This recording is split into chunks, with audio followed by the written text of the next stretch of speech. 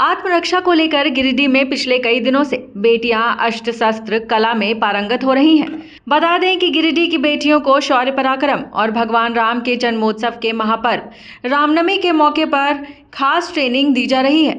इसी क्रम में बुधवार की अहले सुबह, करीब दर्जन भर से अधिक बेटियों ने लाठी के साथ साथ अष्ट शस्त्र का भव्य प्रदर्शन किया। बेटियों ने शहर के टावर चौक पर समाज सेवी पूनम बर्नवाल के नेतृत्व में लाठियों के एक से एक बढ़कर खेल दिखाए।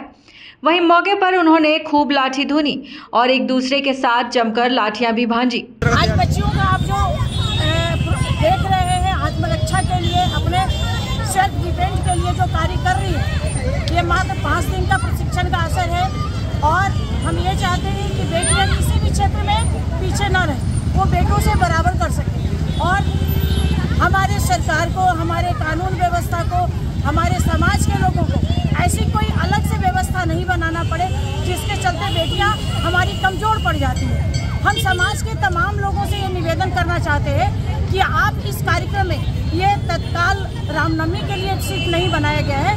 ये प्रतिदिन मतलब महीना में चार क्लास होंगे और ये इसकी सारी व्यवस्थाएँ निःशुल्क है। इसमें किसी प्रकार का कोई शुल्क अभी तक नहीं लिया गया है।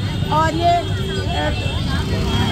खुद हम अपने तरफ़ से हमारी इच्छा थी कि ये कार्यक्रम हो, क्योंकि हम चाहते हैं कि हमारा देश जो है इक्कीसवीं सदी, नारी सदी है तो निश्चित अपने समाज को, अपने परिवार को एवं राष्ट्र को सशक्त बनाने में हमारी बेटियाँ बेटों से कदम से कदम मिला के चल सके। इसी कार्य इसी लक्ष्य को लेके हम ये कार्य कर रहे हैं। न्यूज़ विंग के लिए गिरिडीह से मनोज कुमार पिंटू की रिपोर्ट।